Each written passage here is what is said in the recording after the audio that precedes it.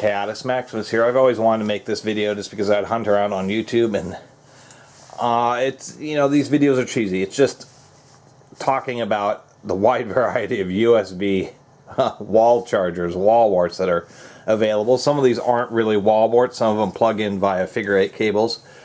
Some of them are they've gotten pretty far. This is like a 10 watt uh, wireless charger with a whole bunch of ports. It's a 100 watts total, quick charge, USB-C power delivery, and it has individual displays for each, um, or it has an LCD display for each port. Pretty neat.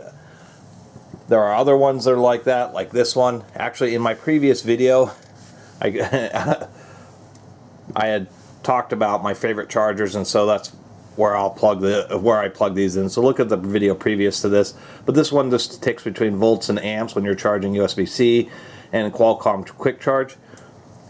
Chargers like this will actually deliver quick charge out of the quick charge ports while simultaneously using other ports. And the ones like the Ziegler will do the same thing, but it's limited to like 40 watts maximum. So like one device quick charging out either the USB-C power delivery and the QC port um, but if you put a whole bunch of devices, it will just run at 5 volts. And a lot of them are like that, where they'll quick charge one, one port, but if you plug in multiple devices, they'll knock it back down like 5 volts, 2 amps. But these are pretty cool.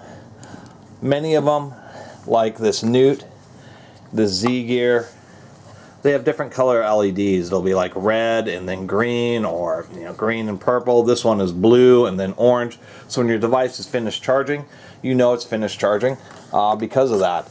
Uh, this one's the same way, it has a little light that changes color when it's done charging, so I thought that's kind of neat. You have other ones like these this Verizon unit, and whoever Verizon is buying it from, I think this is a whatever brand this is, I don't even know.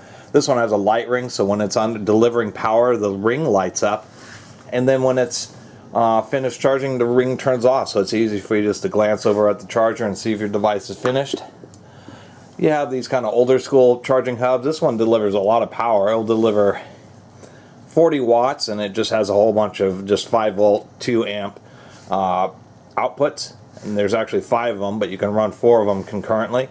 And this also uses a figure eight cord. Speaking of that, some of these are you know, uh, travel chargers like the Samsung one, where it just has this little adapter that plugs in, which kind of interesting about this one is it's actually a figure eight port and a USB power brick and you can plug a figure eight cable right into it.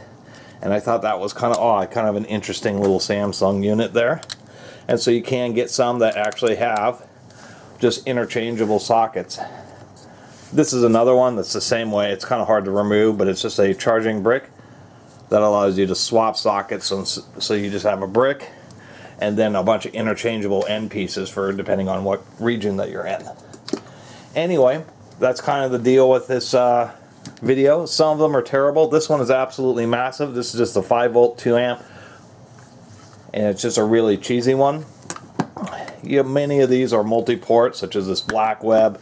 We have these Ubio Labs and these Smart ID ones over here, which is the same thing. They're just multiple 5 volts. These are 2.4 amp concurrent. And so those are just single bricks which have multiple ports in them anything that's a fast charger, and that's you really got to look at these. You know, if you see anything that has that one be a great example. But any charger that has like a USB-C port is going to be a quick charge compatible. Otherwise, you just have to look at the charger. If it's going to be quick charge, it's going to output something higher than just 5 volts. So whoever says like 9 volts to 2 amps, um, this happens to be a DJI charger and 12 volts at 1.5 amps. That seems to be pretty much the standard, which is an 18 watt. There are certain exceptions, such as like these Samsung rapid chargers. These only go to 9 volts. They don't do the 12 volt, even though they are 18 watt chargers. Actually, I don't think this is an 18 watt. I think this is 1.67 amps, so it's going to be a little less than 18 watts, like 14 watts or something like that. But it's like that Samsung tends to be the exception most of these chargers, when you run into like big brick chargers like these or these, this is a USB-C. Um, what else do we have here? Whatever brands these are. These are all going to be 18 watt chargers. Some have USB-C, some have USB-A. pretty much the same thing. And that was the whole purpose of this video. You have certain ones like these Motorola turbo chargers. Motorola calls their 18 watt chargers turbo chargers, which is a little bit odd, but that's just fine. Certain ones like this huge one, this Aukey, this is really pretty heavy. You can always judge a charger by its weight. If it's a heavy charger like this one, you know it's going to be pretty nice. This is actually one of the rare ones which has two simultaneous quick charge ports. So this is actually a 36 watt charger. It'll de de deliver uh, 18 watts out of each of the individual charge ports, which is kind of neat. You have tiny little ones like this, which are just little wall wart style. Orange one is the JBL. I found a lot of chargers, and they actually tend to be pretty reliable. The only ones I've ever found that have failed were Belkin chargers, interestingly enough. Besides that, the use there were standards for Qualcomm Quick Charge, which is having a green charging port, but it uh, manufacturers have kind of pulled away from it. Both of these are the same 18 watt chargers. One has a green port, one has an orange port, and it's just because that's how they want to do it. Some of them are oddball designs like this Energizer Intercell one, which has two willow ports sticking out the front, but at the bottom of the unit. It's a little bit odd, but it's just fine. There are, of course, which I think are kind of neat, the Walmart on brand. These aren't quick chargers, these are just 5 volts at 2 amps. I keep on mentioning that voltage because you don't want to go anything lower than that. You really want 10 watts or better. But these have always worked out great. Little blue LEDs. They have round ones, square ones, black and white. Other than that, we have ones like this, which is just super bulky. This is a uh, maximum 30 watts out because this one um, supports USB-C power delivery as well as Qualcomm Quick Charge. And many times, even though the Qualcomm Quick Charge can deliver more than 18 watts, it seems that chargers that only have USB-A port that are Quick Charge are only going to be 18 watts. And if they're going to deliver more power than that, they'll use a USB-C. But this one's really bulky. Now, there are others, such as these Blitz units that I have, found these at like a used computers parts store that basically never has anything except for like antique equipment but they did have a little collection of these uh, that were pretty cheap. They're like three bucks a piece. And uh, I just think that the printing was just too small for them to read but this I remember picking up this blitz charging thing for a little wall wart. This thing is really pretty heavy. This is one of those um, gallium nitride transistor uh, 65 watt power bricks. And these are this is my most powerful individual power brick. And so if you feel a power brick that's pretty heavy that you find use try to read the label because sometimes they're going to be pretty nice like this Blitz Force. Once again 65 watts that's quite a bit of power. That'll drive quite a bit of equipment. And of course there's all these types of chargers such as the Samsung. When you find one of these charging bricks as a USB-C usually they deliver quite a bit of power like the Samsung which is a 30 watt I think we have this Chicony here, which is pretty decent brand. This is a 45 watt. And so these are chargers that come with like tablets and uh, Chromebooks and that type of stuff with USB-C charging ports. And the nice thing about USB-C is because it's a you know a standard, you can use one of these and charge your phone with it or any device that has a USB-C uh, charging port. And the nice thing about these is that they're just large. They don't get quite as hot unless you're running them full bore and they'll pretty much charge any device that you really want to plug into them. And then there are kind of oddball rare ones, like this 18 watt. Actually, I think this may be more than 18 watts.